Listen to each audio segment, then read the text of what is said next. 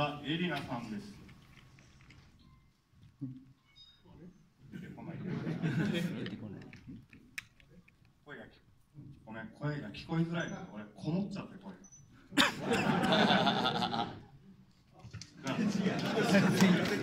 しかも出てくる順番が違う神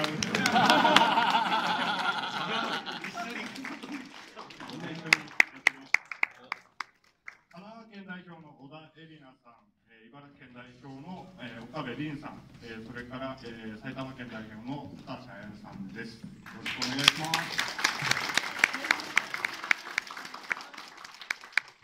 えっと、ここからトークショーに移っていこうと思うんですけど、やっぱでかいな。ちょっとでかい。まあいいよ一緒にね可愛がって、可愛がってあげて。はい、はい。えっとまあ、今回あの、ジャパンデザインウィークと AKB48 チーム8がなぜこういうことをするかというと、皆さんは地方を応援するアイドルです。我々はクリエイティブとかデザインで地方を応援する団体です。なので、まずはみんなの県を自慢することをたいと思います。あ、そっか。ま、まず神奈川県の人ってどれぐらいいます？すごい。嬉しいですね。じゃあ、小田さん、お国自慢を皆さんの前で。はい、はい、神奈川県代表の小田絵里奈です。よろしくお願いします。住んでる神奈川県はですね、遊ぶところがいっぱいあって、みなとみらいとか。でも、すごい歴史もあるんですよ。鎌倉大仏さんがいたり。それで海もあったりするんですよ。湘南とかに。だから、何でもあるなって思って、だから何でもできる県だなって思います。なるほど。残念ながら、藤沢市が入ってますね。素敵な県ところですね。じゃあ、次。まあ、僕が東京なんですけど、茨城県。茨城県の人っています？完全アウェー、アウェー。はいはい、改めまして、茨城県代表の岡部凛です。よろしくお願いします。茨城県は、まだあまり知られてない1位が、え、ちいいあの、1位があるん。ですよ、いろいろ。あのー、サバの漁獲量が1位だったりとか、メロンとか栗とか、あと干し芋。とか、レンコンとか、多分全国の半分とかの食べてたの大体茨城のものだと思うのでレンコン。だからレンコン食べた時とかあこれ茨城のだって本当に思ってもらってもいいぐらいの収穫量なのでなんかいろいろな野菜のなんか収穫量が1位なんだってことをアピールしたいですね食、食が、そうですね。食が自慢。はい、あと春夏秋冬いつでもあの絶対にどこかで楽しめるレジャースポットがあるのでそこも自慢ですね。湘南の海と茨城の海だったらどっちがいいか。でもぶっちゃけ私の地元の海って結構あの砂ゴツゴツしてて ちょっと痛いんですよね。どうだろう湘南の海はどうなの？泳げるの？湘南サーフィンとかしてる人とか。サーフィンもいるんだよね茨城でもサーフィンできるそう。本当に波がかかって乗れるでもどっちがいいって言ったらどっちなんだろう。サーフィンだったら向いてると思います。どどっちもいいっていうことどっちもいいで。どっちもいいってことにしとこうか。じゃあ、海がない。海がない。埼玉県は。じゃあ改めまして埼玉県代表の高橋あるです。よろしくお願いします。はい、埼玉県はですね、サーフィンできる海はないんですけども、あの埼玉県も1位のものがあって、日本で一番晴れてるんですよ。そう天気が。あのそうあの埼玉県が一番定点観測をされた日が多いらしくて、だからすごく明るくていい県で、それにあのムーミン谷があるんですよ、埼玉県に。だからムーミン好きな人はあ好きじゃなくてもぜひムーミン谷に行って遊んでください。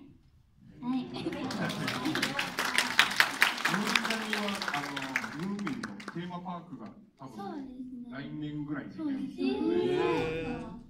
本当にムーミンのあの世界を再現される感じでしてきます。うん行ってみたい。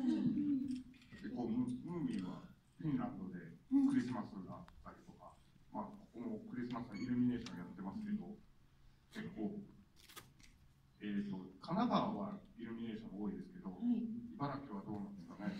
そうですね地区の大仏ぐらいですかイルミネーションか、うん、つくばとか本当にざっくりな説明しかできないんですけどつくばとか行けば多分いいイルミネーション見えますよ埼玉。はい、イルミネーションあるんですよ。東武動物公園っていうところがあって、しかも埼玉県民の日には全国の学生さんが無料で見れます。もう埼玉県民の日終わっちゃったんですけど。学生さんっぽい方いないそうですあ、そうか、埼玉県民の人って、あ、よかった。ポツポツ。じゃあ、え、じゃあ神奈川県もイルミネーションはどこがいいかって。やっぱりみなとみらいですよねみなとみらいか、えっ、と、今日どこでやってるのかな。藤沢も藤沢の藤沢の江ノ島はすごいイルミネーションがもうですよね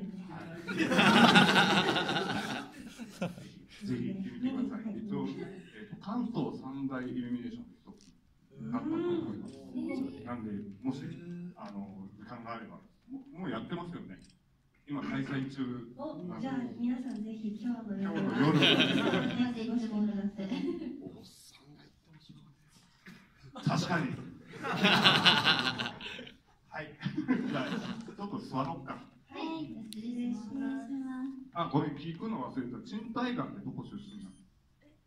喋るんですか？喋るわけない。だって人入ってないんだよ。えー、すごいそうなんだ。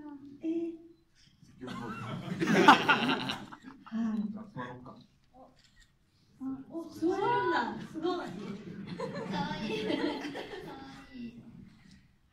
はい。みんな奥に一番おっしゃるけど、神奈川の人すごい多かったですね。意図的に選んだわけではないんですけど。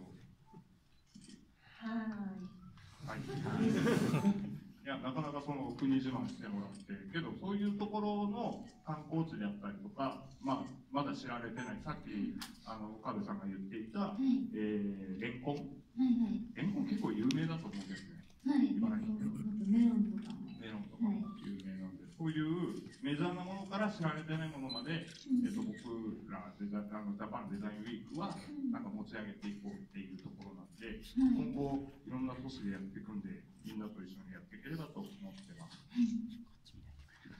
じゃあ次のテーマに行こうかなと思ってまして、えー、なかなかキーワードとして出てこない。藤沢について。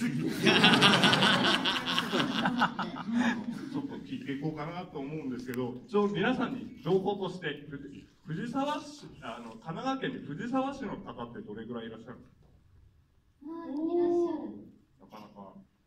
で、藤沢市っていうのが、えーと一応3つの特徴的なエリアで構成されてます。えー一つが、えー東海道53次の宿場町の藤沢っていうちょっと歴史的な町ですね。それから、えーここ、辻堂っていうエリアは、えーここが、ここの上にアートスペースがあったりとか、浮世絵館があったりとか、ちょっとアートの街。で、さらには隣にロボテラスっていうロボットの街でもあったりするので、そういう特徴を持ってます。そして、みんなが知っている江ノ島っていう、ね、小田さんがね、はい。あの、PR しなきゃいけない江ノ島。っていう3つのエリアがっていうところで、えーあるんですけど今日は皆さんにこの上にあるあの藤沢浮世絵館のところでちょっとこうすり体験をしてもらったんですけどまず、えー、と浮世絵を見た感想を ちょっと聞いてみようかなで絵心が一番ある。岡部さん？あはいわかりまはい。岡部さんからちょっとはい感想を聞いてみようかな。はい、あのー、なんていうか、私結構細かい、私が描くときは、あの、細かい線で描くときが多いので、あの、ああいう、なんていうのかな、彫ったんですよね、この原画。ああいうなんか太い線で、こう、細かいところを表現できてるのって、なんかすごいなと思ったし、あの、色の使い方がすごい好きでしたね。ああ、いいよね、あの色の使い方っていうのが。はい。で浮世絵って、えっ、と、高橋さんは見てみて、今気抜いてたりする。あの、途中でも振るので、気を抜かないように。あの、あの、さっき岡部さんが細かい線で色が多色。以外に、以外の感想をももらってもいい？ああん。なハー。ドル上がってくるなんだろう結構女の人の顔は結構あの均一的になんか笑ってもなく無表情な感じだったんですけど結構男性の方の絵は表情がたくさんあってなんかすごい運んでるとことかなんか食べてる時の笑顔とかが表現されててすごいそういうところも細かくて笑われてるんですけどはいねみみんな浮世絵のこと知ら知らないからさ。あと、なんか風景画の時は、なんだろう、日の光の当たってるとことか当たってないところが、なんかちゃんと区別がついてて、なんかそういうところは昔からちゃんと今になんかつながってるんだなって思いました。大丈夫ですか？大丈夫です。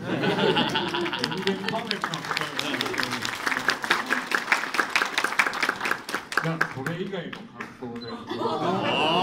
いけます？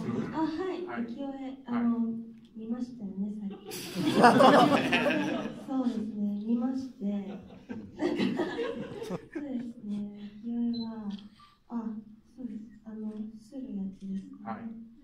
で、でも、え、やった感想でしたっけ？え、まだ、まだね、その後、やった感想ど うかなと思って。そうですね、なんか見たんですけど、街の、なんかここ自然すごい豊かじゃないですか、はい。でも絵の中でもやっぱりすごい自然豊かで、街並みもなんかそこまで大きく変わってはないなって思って、で、ここってすごく観光地じゃないですか。で 多分ね、街並みはちょっと変わってえ、るえ、本当に自然が、風景が、すごい自然が豊か豊かなのは変わってないなって。富士山とかね、そういう海であったりとか、はい。森であったりとかっていうのが変わってない。はい、思いました。途中でごめんね、振っちゃって、隣の2人に。え細かいところっていうところは、まあ、絵描いていて、結構細かいイラスト描くって言ってましたけど、はい。結構、版画の、まあ、やり方とかも聞いてみて、はい。なんか、なんだろうな、えっ、と、色の色彩であったりとか、うんそういうところって、なんか考えるところありますか考えるところ、なんか今でいうピンクとか、ああいう、なんだろう、可愛らしいっていうのかな、なんていうのかな。ああいう色はなくて、なんか、大丈夫なんていうのかな、あのむか昔っぽいというか、あの、なんだろう、京京都とか行くと、あのセブンイレブンとかああいうコンビニって、あーなんかはいこっちの東京のうん。ああいう色使わないじゃないですか。なんかそういうことな伝え言いたいんだけど、なんなんて言えばいいのかな。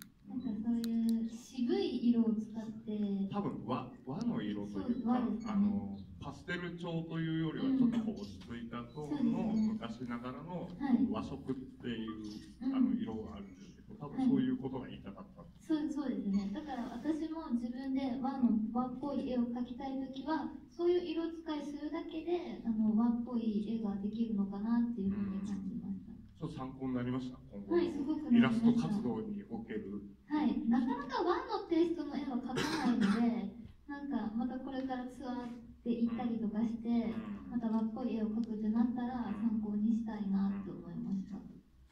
高橋さんは色はい。色色のところ色色のところ、うん。うんはい。そうですね。私もりんちゃんみたいにそうやっぱりパステルとかビビッドはないなと思ったんですけどそうです。えー、っと待ってくださいね。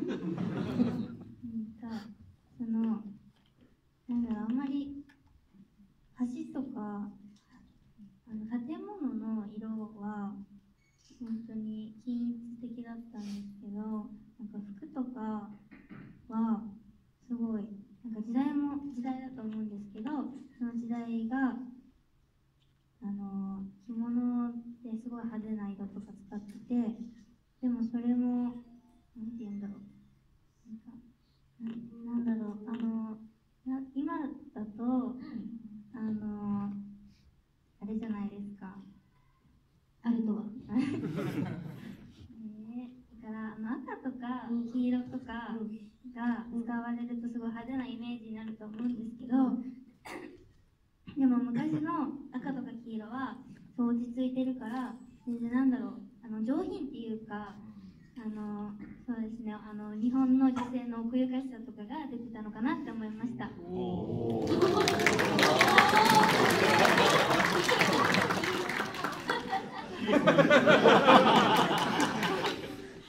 素敵なコメントが出たね。ありがとうございます。はい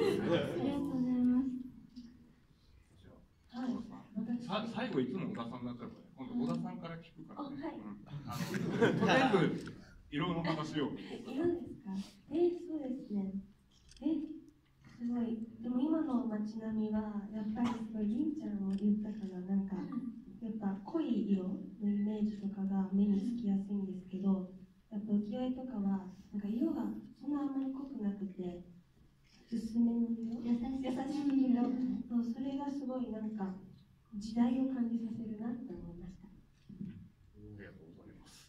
結構多分言ってるのは多分な何回もするっていうお話をしたと思うんですけど、多分そこでちょっとこうグラデーションというか、お菓子っぽくなってこう優しい色にも見えるのかなとはちょっと思うんですけどね。じゃあ小田さんから、ねはい。いよいよ聞いてみようか。はいお願いします釣り体験、えっ、と皆さんに実はあの版画あの皆さんご存知だと思うんですけど浮世絵って版画を何枚も何枚も赤とか黒とか青あの青とかを重ねて、えーまあ今まで手書きで模写していたものを、まあ、印刷の前段階としてやってるっていうものなのでそれの体験を先ほどしていただきました、作品を皆さんにお見せしましょう。はい。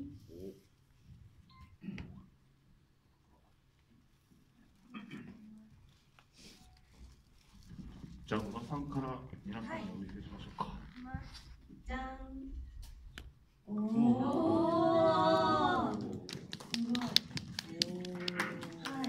これはですね東海道のすけどすごい一色でやったんですけどすごい私小学生以来でいや中学生以来かな版画するのは。すごい楽しかったです久しぶりにやっても。じゃあ高橋さんの作品はい。をお見せしましょうか、これです。おはい、えっと、私は、あれですね、江戸、江戸が、江ノ島ですね。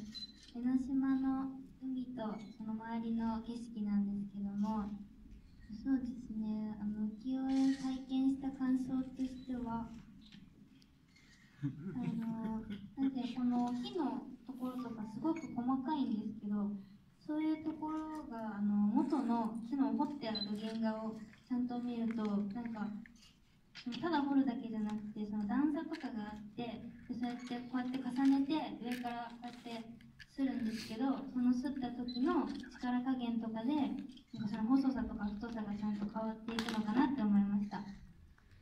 難しかったところは何かありますあ難しかったとこですかそうですねあのあんまり強くやりすぎちゃうとあの紙があの切れちゃいそうでちょっとそこが力加減がちょっと難しかったかなと思います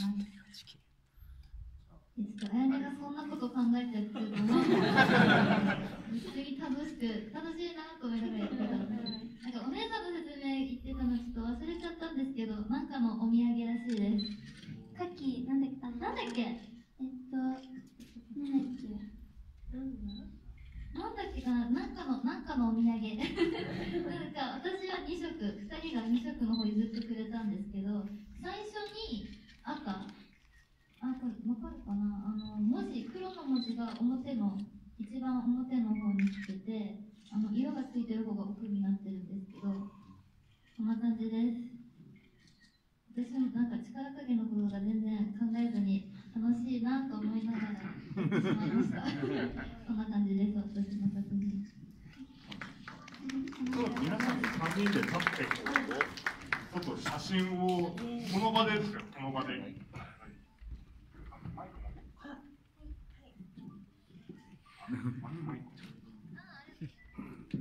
こっから見たい。ね。最後邪魔じゃない。よちゃんと一緒に写ってあげてってる時チンタイガーが応援してくれたんですよ。だから頑張れました。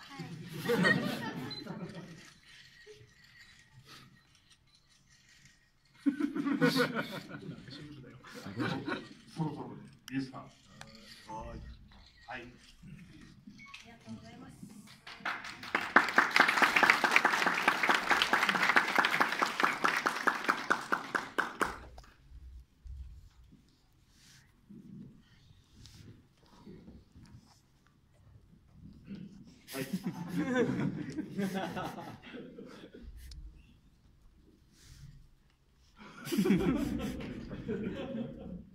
こういう体力が上がってきた。緊張してる。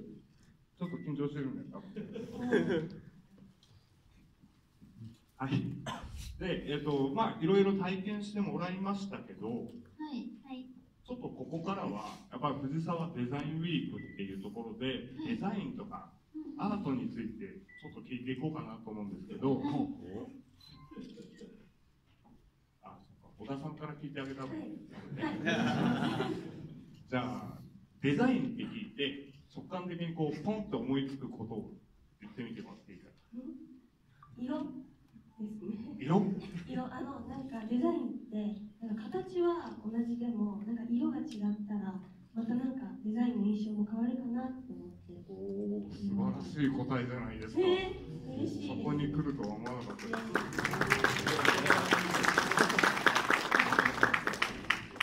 じゃあ、高橋さんは？はい、えーそうですね私は小学生の頃にファッションデザイナーになりたくてそれだからいろんな本とか見てそのたくさん服を描くのを練習してたりなんかその色のなんだろう組み合わせによってこんなイメージになるんだよっていうのをいろいろなんか本とか読んで勉強してたのでだからデザインって私にとってはあの服がメイン服のファッションデザインっていうイメージですね。はい。どんなどんなファッションデザインが好き？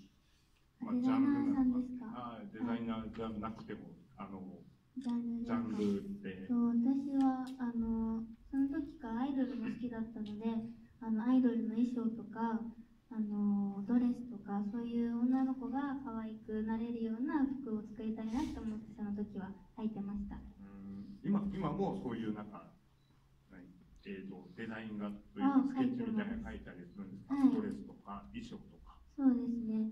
なんかあのたまにあの時間が空いた時にあの息抜きというかリラックスするためにそういう自分であのこういうの可愛いなと思ったやつを書いてあのこういう形になったらいいなっていうのをやってます。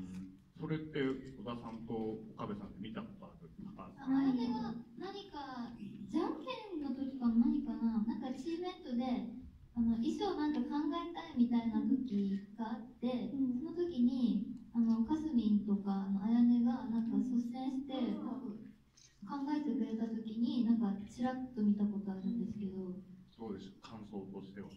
着たいって思いました？あ可愛かったですそれもすごくそうですか？じゃあ、はいもしかしたら高橋さんがデザインした、そうですねね、衣装っていうのももう出てきたりするのかな。デザインしたいんですデザインしたい。はいデザインしたいそうですよ。皆皆さんも見てみたいです。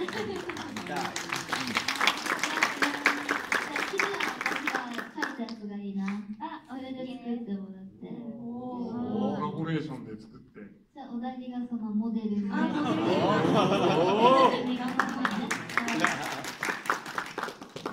そう、大体デザインっていうとファッションってみんな思ってしまうと思うんですけど、多分岡部さんはは違う答えを持ってるはずなんそうですね。岡部は違います。私はやっぱり物を作ったり物を書いたりっていうイメージがあってなんか自分の中で頭の中であの想像したものこういうのを作りたいっていう思考をなんかその体の外に出して実際にあの書いたりそれを表現する作業がデザインだなじゃないかなってすごい思いますね。表現自己表現っていうことかな、はい。確かに。すごいそうすごい当てはまってる気がして。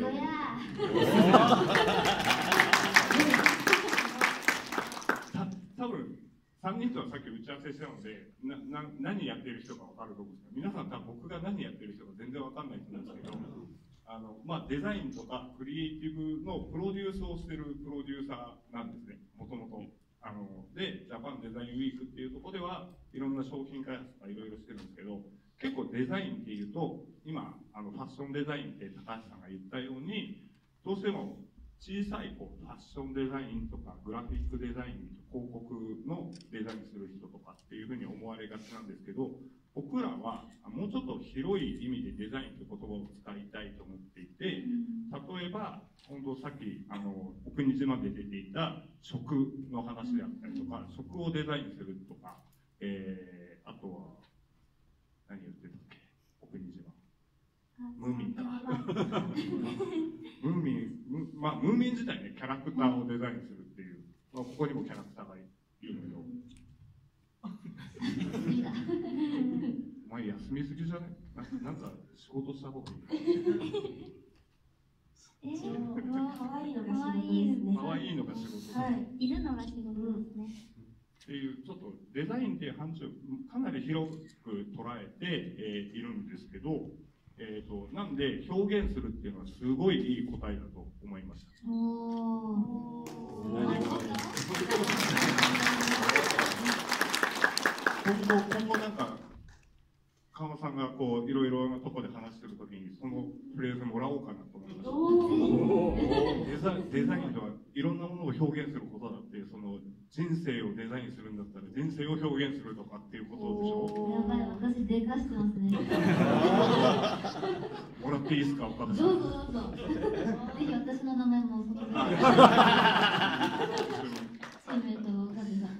岡部さんとはい。東京の東京の茨城代表はい、で、あ、それ、それ一番大事。そこが多分ね、二はい人二人で茨城をなんとかね、47位のポジションからね、上げていかないといけないから、はい。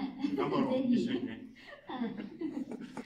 で、いろんな広いとか表現っていうのはすごいいい答えだなと思ったんで、岡部さんからいこうか。はい。一番自分が今夢中になっている表現方法というか、うん。そういうところって何か得意なものとかあったりしますそういう。うーん一番今やってるものとしてはやっぱり絵を描いたりのツアーのロゴのデザインをするとかなんですけどはロゴデザインもしてる。いしてますあそれ皆さんはもう知ってるんですね。はいす皆さんにはみません僕が勉強不足なんで。はいロゴもデザインして、はいしていますそれはこうフリーハンドですか？それともパソコンとかでやります？今はフリーハンドで描いていてあの例えばですけどこの間は秋田と奈良のツアーがあったんですけど、はい。その奈良と？いえば大仏とか鹿とかなんかそんないろいろな地方のなんか特産物みたいなものをなんかいろいろ交えてその県を表せるようなえ感じでデザインしてて、それは奈良と、と秋田。秋田は生ハゲを入れてみたりとか、へー秋田県とか。じゃあ藤沢でも作ってくれるかな。実際は何かけばいいですか何書けばいいですか何書けば藤沢ってわかるかなじゃあちょっとさっき藤沢市って言った人に、うん、な何がいいですかね。ああ江ノ島。こちこちら側でも手を挙げて誰か。な何書けばいいですかっていうのはな何何江ノ電がわからない。わかんないですえもう一回えもう一回え江ノ江ノ電江ノ島電鉄って。電車小野電ってみたいな今の正式名称ですか江ノ電江ノ江ノ電は江ノ電ってみんな、まあ通通称江ノ電で江ノ島電なんとか電鉄あそういうことかあ分かんなかったあの鎌倉とかはいもう走ってる鎌あの藤沢から出てるんですけど、鎌倉とかこう、はい湘南の海岸沿いをガーって走ってる緑の電車知りませんか？あ分からなかったじゃあそれを書けばきっと皆さんは皆さんは藤藤沢ってもう例えば私がここをデザインするとしたら多分それが入るとそれが入りますはい食べ物は一応しらすがそうなの？しらすあの江ノ島とか行くとしらす丼とか。うんうんうんししらすってわかる？はい。すごい。きょとんとされたんでしらすって何ですかって聞かれてるのかなと思ってはい。大丈夫はい。えそしたらしらすとはい。江ノ島と江ノ電でなんかそうですねその三つをうまく構成してい。う感じですかねえもともと絵は勉強はしてるの、勉強はしてないですね。昔から絵を描くことが好きで授業中うん学校の授業でちょっとだけあの知識を得たりとか。だからわざわざ自分からが何か学校に行って学んだとかじゃないんですけれど独学で。独学で、はい。それパソコンとかで書こうとかってあんま思わない？パソコンではまだ書いたことないです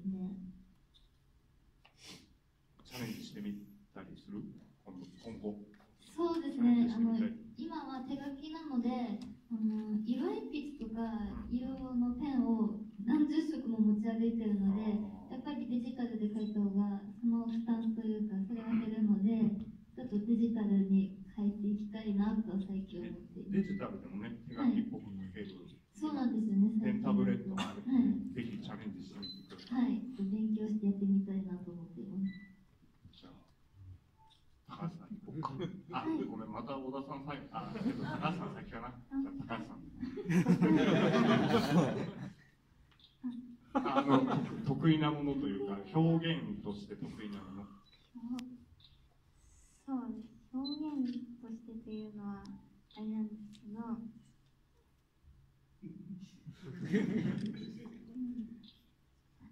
あのアニメとか漫画が好きなんですけどもあのそういうの